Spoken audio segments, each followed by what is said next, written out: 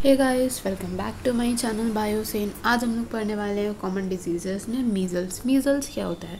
कैसे होता है इसके सिम्टम्स क्या क्या होते हैं और क्या है इसका ट्रीटमेंट तो मीज़ल जो होता है, कुछ इस टाइप की इमेज दिखती होगी इससे थोड़ा बहुत तो पता चली गया होगा।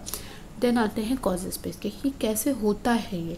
तो कॉमन अमंग स्मॉल चिल्ड्रन मतलब बहुत ही कॉमन होता है छोटे बच्चों में, ज़्यादातर देखा जाता है। बिगन विद कोल्ड ज़ुकाम से शुरुआत होती है। अगर किसी बच्चे के ज़ुकाम है तो में भी चांसेस हैं कि उसके मीज़ल्स हो जाए आगे चल के।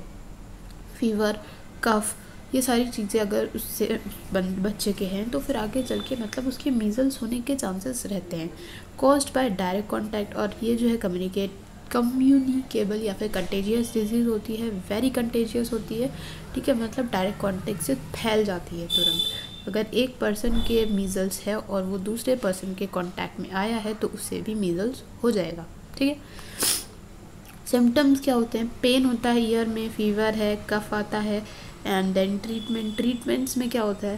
देखो स्ट्रिक्ट आइसोलेशन मतलब अगर मान लो किसी पर्सन के हुआ है मीज़ल तो उसको एकदम आइसोलेटेड एरिया में रहना चाहिए। दूसरों के टच में नहीं आना चाहिए, दूसरों के कांटेक्ट में नहीं आना चाहिए अदरवाइज़ उनको भी वो चीज़ हो जाएगी। फिर regular eye bath regular eye wash करनी चाहिए वार्म वाटर से।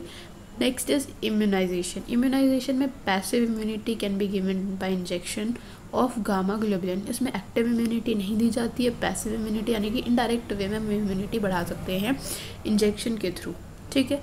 तो ये थे causes symptoms treatments and immunization हमको समझ में आया होगा। Thanks for watching my video